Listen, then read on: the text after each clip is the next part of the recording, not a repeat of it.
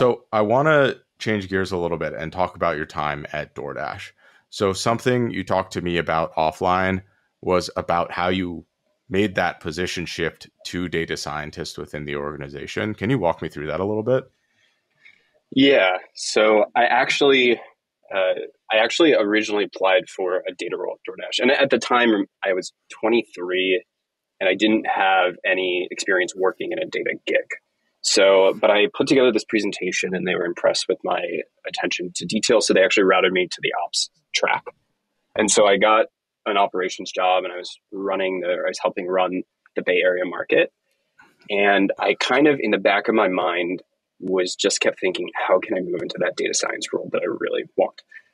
And so, one thing that was a huge problem at DoorDash, still remains probably a, very big problem at DoorDash, was how do we know which restaurants are the best restaurants to be on DoorDash? So at the time, the company was pretty young. I think when I was joined, it was in the 150 to 200 range. I think now it's in the 10 to 12,000 range, something like that.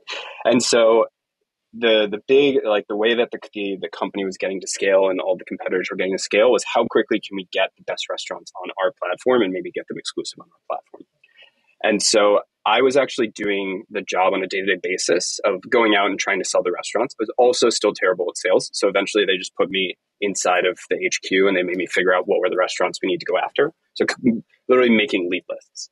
And i was making these lead lists and it was based on what I thought was tasty in San Francisco, which is a really terrible way to approach the problem.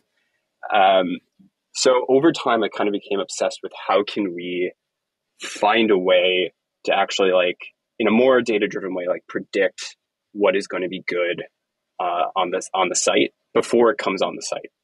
And so I was taking I was taking courses at night, and so what I would do for those courses is try to actually build my own models to uh, like predictive models to estimate how well a, res- a restaurant is going to perform once it's on DoorDash. And so I kept like honing this thing and honing this thing, and still wasn't good. It still wasn't good.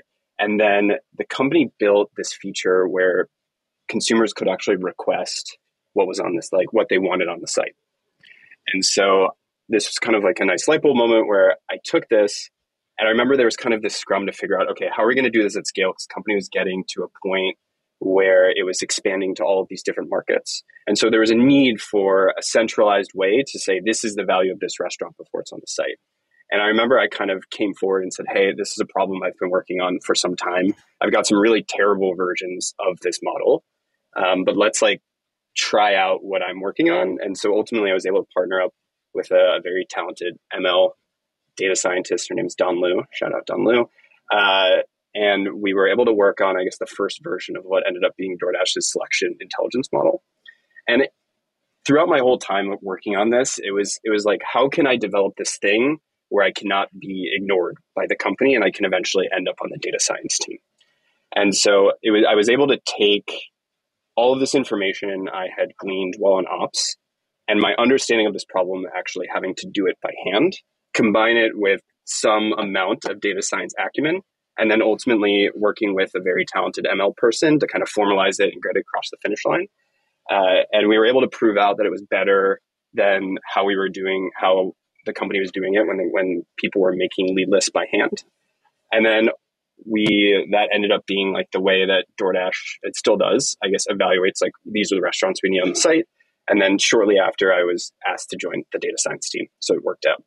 But it was kind of like this project I had in the back of my mind that was in my it was sort of a fantasy of like this is going to be the thing that gets me to the point where I want to go, and it it ultimately ended up working out.